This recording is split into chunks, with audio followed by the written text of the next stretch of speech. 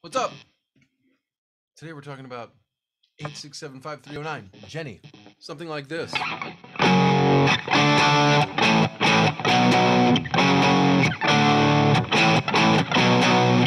Okay, so let's uh, talk about the chords and uh, then a little bit how to strum them.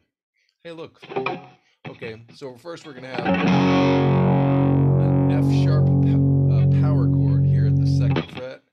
just going to use my first finger, third finger, and fourth finger for all of these guys.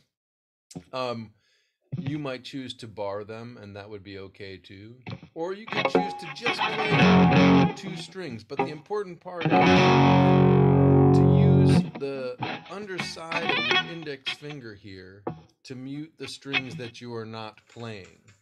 You're not going to press down there like a full bar, but um, you're not going to push down like a full bar, but you'll be just slightly muted. Okay, so F sharp,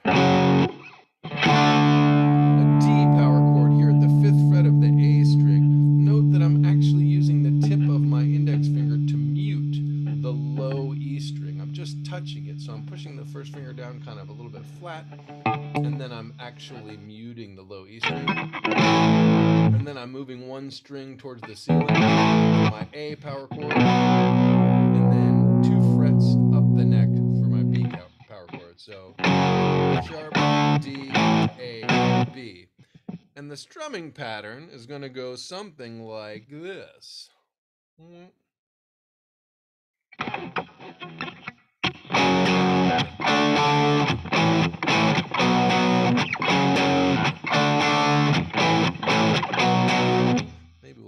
Two cameras going. Oh, yeah, let's check it out.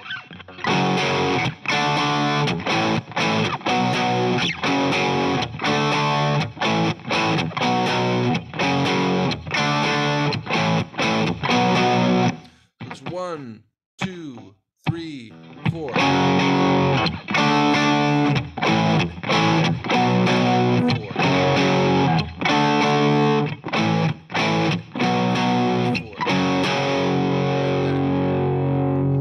Down with the beat, up off the beat.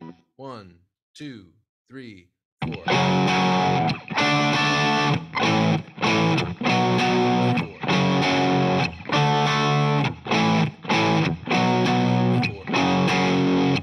Now, the key, the secret sauce, so that you can get this sounding kind of tight, just like you hear on the record, is to mute in between these power chords. It helps silence some of the, those extra cool slash annoying sounds of sliding up and down the strings. Because then you can completely lift your fingers off the strings as you move. Ah.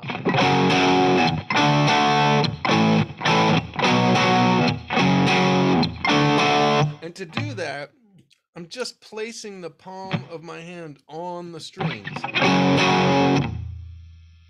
to silence them all.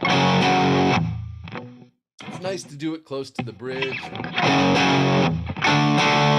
but it's not totally necessary. You can do it farther up the neck if you like.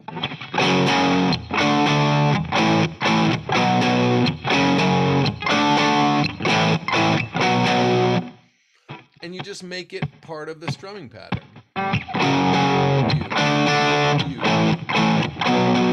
Can't say those mute fast mutes fast enough there.